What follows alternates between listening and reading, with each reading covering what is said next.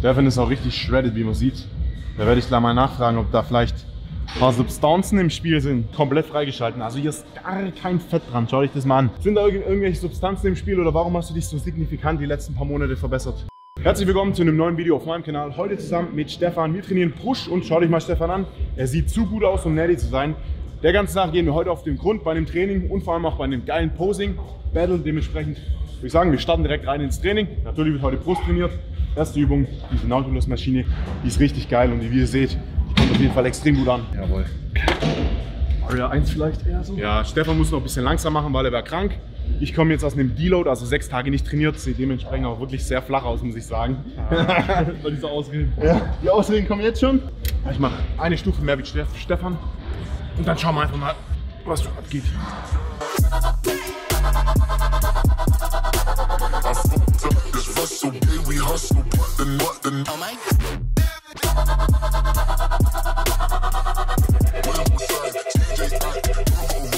Du hast gesagt, du schießt dich ab heute.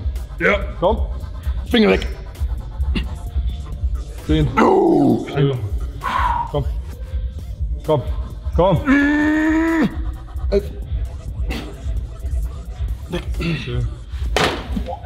Aber entweder ist die Maschine verzogen oder ich bin verzogen. Weil es ist schon so leicht schräg, oder? Ist bei dir gerade? Ja, ich merke das nicht. Ja, dann liegt es an mir wahrscheinlich. Oder ich und die Maschine sind schief. Passt das dann wieder? Ich glaube, nee, ich bin ein bisschen schief. Ich weiß auch, immer bei Posing-Updates stehe ich immer so ein bisschen schief. Ich auch. Weil meine Schultern unschließen, ja. Ja, unter anderem kommt es sogar vom Rucksack tragen, denke ich mal. Ja, ja. Weil ich den immer auf einer Seite trage. Ja. Dann muss ich mich selber so dran erinnern, hey, zieh deinen Rucksack richtig auf. Ja, könnt ihr euch zum Beispiel auch merken, ja. Puh, hat schon mal gut reingehauen hier.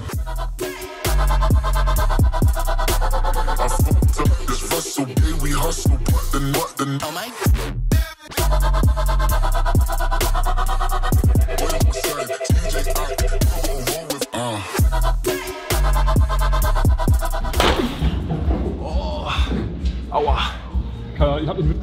Muss mal auf Video gucken.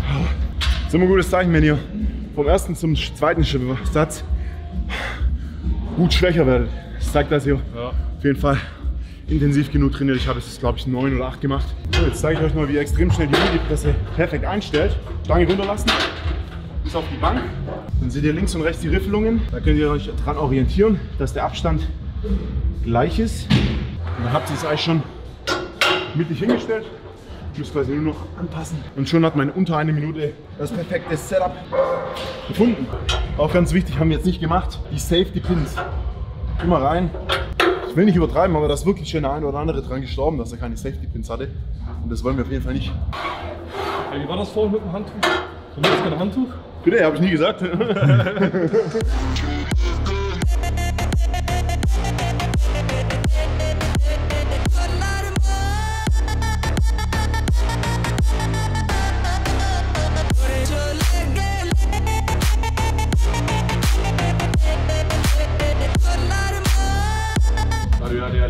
bist, der Wettkampf ist, passe ich mich so ein bisschen an.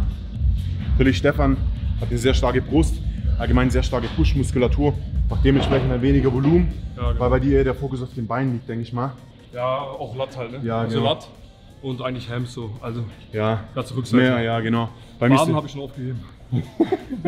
ja, bei mir ist der Fokus mehr so Brust, Schulter, Arme.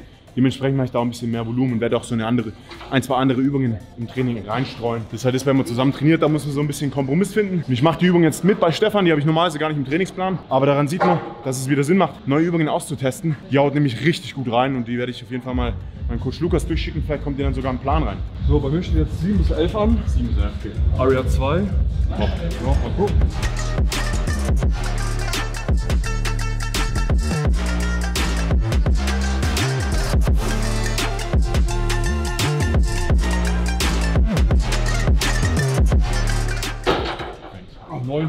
Genau. Perfekt eigentlich, genau.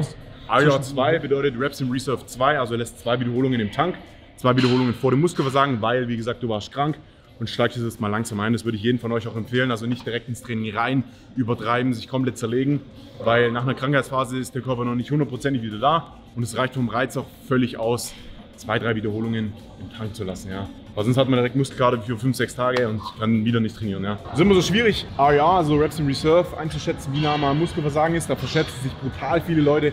Deswegen bin ich persönlich eher so ein Fan, immer nahe bzw. ans Muskelversagen zu trainieren, weil da unterschätzt man sich nicht. Ja. ja. Jetzt klar, bei so einem Einstieg, wie gesagt, macht Sinn, nicht so intensiv zu trainieren, aber ansonsten trainiere ich schon immer sehr nahe bis oder ans Muskelversagen. Ja. Also die meisten trainieren einfach viel zu leicht. Ja, Die genau. müssen aber ein bisschen härter trainieren. Ja.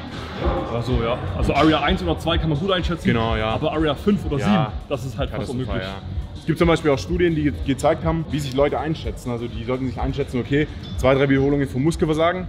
Und dann hat man eben ermittelt, wie weit sie wirklich vom Muskelversagen entfernt waren. Da waren es sechs, sieben Wiederholungen im Tank. Deswegen bin ich, wie gesagt, ein Fan, einfach immer ein bisschen intensiver zu trainieren. Dann ist man immer auf der sicheren Seite und macht da keine Wissenschaft raus. So Du machst auf jeden Fall Gains. Aber auf jeden Fall Gains, ja. Eins. Komm. Zwei. Schön. Komm. Push. Drei. Easy, die machst du noch. Komm, Junge. Push. Komm. Backen rein. Vier. Komm, komm, komm. Push, push, push, push, push. Jawohl. Okay, Oh, Alter, Junge. Und was war das für Aria? Es war Aria Müll, Alter. Aria minus eins. Ja.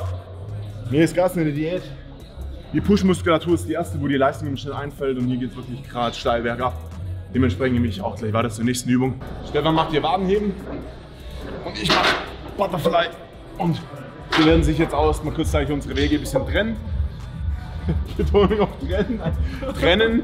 Weil ja, wie gesagt, wir haben unterschiedliche Trainingspläne, unterschiedliche Ziele. Stefan macht das Waden, ich mache noch ein bisschen was für die Brust. Und dann treffen wir uns gleich wieder, wenn die seitliche Schulter ansteht. Hier die Hammer Strength Maschine, habe ich schon im vorletzten Video oder so gesagt. Finde ich irgendwie nicht ganz so nice, bin ich noch nicht richtig warm geworden mit der Maschine. Dementsprechend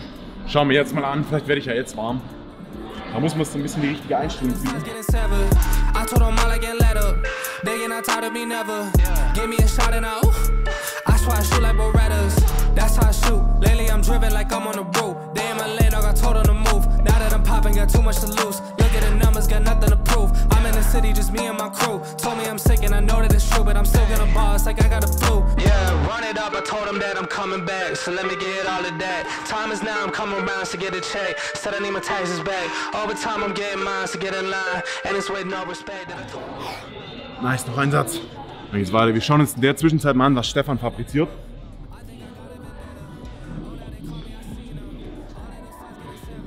Jetzt müsst ihr den Pornodialog anfangen. Das sah gerade aus wie so eine Szene. Erst auf Stefan gefilmt, da kamst du so reingelaufen.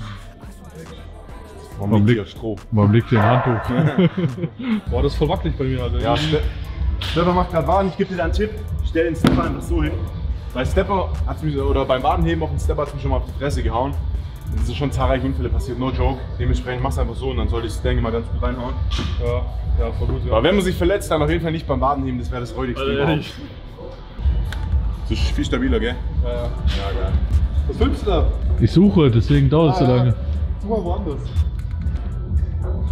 So, weiter geht's mit Seitheben hier an der Gym 80 Maschine. Jetzt wieder im Tag Team, weil wir beide Seitheben jetzt machen. Okay, nice. Aber die fühlt sich gut an. Also richtig schön viel Dehnung noch so. Oben halt so irgendwie so easy, ne? Ja. Also so ein Punkt, der ein bisschen schwerer ist. Ja, dann reißen wir uns jetzt die Seite die Schulter ab. Und Handtuch natürlich. Natürlich. Ja Leute, hier gibt es sogar einen Spiegel, der verschiebbar ist. Den stellen wir jetzt hier mal hin. Da kann man vielleicht noch ein bisschen mehr sehen, wie die seitliche Schulter arbeitet. Oder kann selber vielleicht noch die Technik ein bisschen perfektionieren. Stefan ist auch richtig shredded, wie man sieht. Da werde ich gleich mal nachfragen, ob da vielleicht ein paar Substanzen im Spiel sind. Das kommt mir alles ein bisschen zu gut vor hier. Get.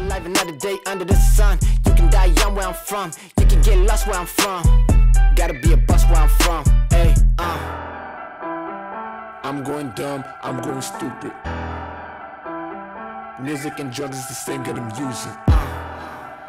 You wanna make a killing, then execute it. Wanna make a million, no excuses. I'm, I'm going dumb. I'm trying to live it and stunt. Get anything that I want, whenever I want. It's okay to be broke. It's not okay to be a bum. Gotta move up.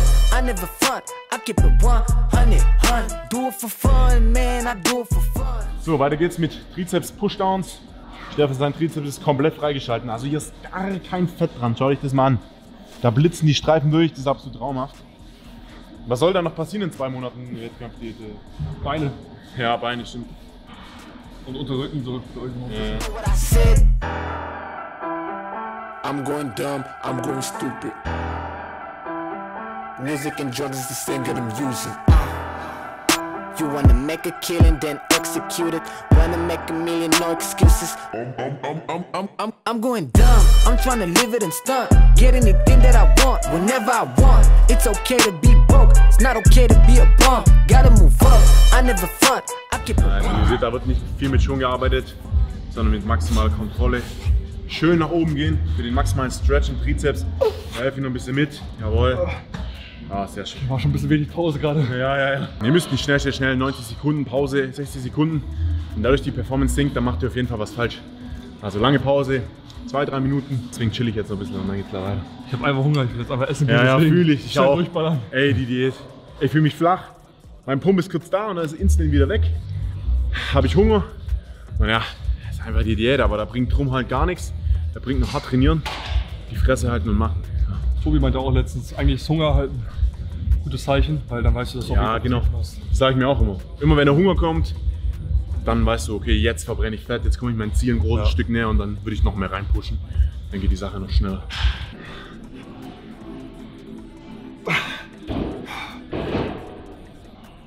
Push, push. Boah, noch. Weg. Oh mein Gott. Oh. Boah. Hei, hei, hei. Hast du gezählt? Ja, 15 glaube ich. 14, 15. Aber bei mir ist es sehr oftmals so, ich verzähle mich immer, immer, immer. Deswegen filme ich fast jeden Satz, damit ich im Nachhinein nochmal Ja, ja. nachzählen kann. Mach doch so. Ich zähle so auf 12, habe ich das Gefilmte angeschaut. Ah, 10 Wiederholungen, top, Alter. Und wenn man dann anfängt, so zu tracken, ja, Ja, ja, du brauchst gar nicht tracken. ja, einfach relativ nah ans Muskelversagen trainieren, dann seid ihr immer auf der sicheren Seite. So, wir machen jetzt noch die zweite Trizepsübung. Trizeps Extensions über den Kopf. Da gehen wir in die V-Station nebeneinander um abwechselnd, also unilateral links-rechts. Told him matter of fact, I said I'd rather not discuss it. Seem like every day I got another check that's coming. Yeah. Training for a marathon, I'm building up the pace, but I ain't have to train for this shit. Always knew that I would run it. I came too far for a grown man to tell me how to get mine. How y'all still talking, I don't listen. I swear we never align. Y'all ain't never done it, still give advice. I don't take directions from the blind. Just stayed on my job, but y'all unemployed. I told them go and apply. That's some real facts, but they won't listen. Don't take opinions, y'all only give them. They crash on the road now, but I stay my line. I was always driven. Had to get it out tunnel vision. Steph Curry, man, I'm never missing. Back in the day, I was in the office, now I'm getting paper like it's done to Mifflin. All my life, I told them I would do this. So Leute, Training ist beendet. Jetzt machen wir noch kurz einen Formcheck, um zu schauen, was geht. Stefan ist ultimativ shredded, aber ich will nachfragen, was da los ist. Weil wir gehen einfach mal ein paar Posen durch. Was am Anfang? Ja, Front Relax oder so. Front Relax, ja. Ready? Told him matter of fact, I said I'd rather not discuss it. Seem like every day I got another check that's coming. Yeah. Training for a marathon, I'm building up the pace, but I ain't have to train for this shit. Always knew that I would run it. I came too far for a grown man to tell me how to get mine. How y'all still talking, I don't listen. I swear we never align. Y'all ain't never done it, still give advice. I don't take directions from the blind. Just stayed on my job, but y'all unemployed. I told them go and apply. That's some real facts, but they won't listen. Don't take opinions, y'all only give them. They crash on the road now, but I stay my line. I was always driven. Had to get it out tunnel vision. Steph Curry, man, I'm never missing. Back in the day, I was in the office, now I'm getting paper like it's done to So Leute, das war unser Posing-Update. Ich muss sagen, Stefan sieht ultimativ nice aus. Wie viele Wochen out jetzt bist du da im Wettkampf?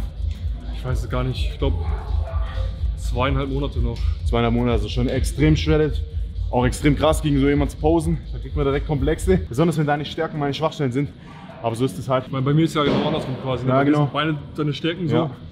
Das sind bei mir meine Schwächen. So würden wir uns beide fusionieren, dann wäre das wirklich ein ultimativer Charakter. Aber wir arbeiten beide an unseren Schwachstellen, um die perfekt auszubessern. Apropos, was mir aufgefallen ist, Stefan sieht ultimativ krank aus. Sind da irgend- irgendwelche Substanzen im Spiel oder warum hast du dich so signifikant die letzten paar Monate verbessert? Ja, ich habe mir jetzt einen Coach geholt. Aha. Und also ich hatte vorher auch einen Coach, aber ich habe das nicht so ernst genommen. Ja. Ich habe äh, vorher nicht zahlen müssen, deswegen war das so eher auf die leichte Schulter. Ja, ja, genau. Und jetzt zahle ich halt was dafür und dann ist es mir auch ein bisschen wichtiger. Genau, genau. Und äh, ja, und seitdem mache ich alles ein bisschen genauer. Ich track meinen Schlaf, sag ich mal, also wie viele Stunden ich schlafe, Ja. meine Ernährung, mein Training, ganz genau, wie viele Sätze, wie viele Raps, alles. Ja, mega nice. Also da sieht man natürlich direkt, dass es in den Körper überstrahlt. Auf jeden Fall noch ordentlich aufgegangen. Auch sieht ultimativ krass aus. Und ich denke mal, da kann sich jeder so ein bisschen so ein Beispiel dran nehmen. Wichtig ist natürlich, Ein Coach, der kostet natürlich ordentlich Geld, ein guter Coach, aber ihr könnt auch klein anfangen und mit sowas zum Beispiel wie Jimkey oder der Hypertrophie Akademie starten, da seid ihr bestens aufgehoben. Hauptsache, ihr eignet euch ein bisschen Wissen an, ihr dokumentiert euer Training, die Ernährung und dann seid ihr auf dem besten Weg, ordentlich Gains zu machen. Das war's mit dem YouTube-Video. Ich hoffe, euch hat das Video gefallen. Lasst uns gerne ein Like und ein Abo da. Schaut gerne bei Stefan vorbei, der ist in der Videobeschreibung verlinkt. Und dann sehen wir uns beim nächsten Video. Ich bin raus und komplett verheizen. Wir gehen jetzt erstmal in die Losteria fressen, denn wir sind beide sehr, sehr flach. Euer Kai, bis zum nächsten Mal. Ciao. Ciao.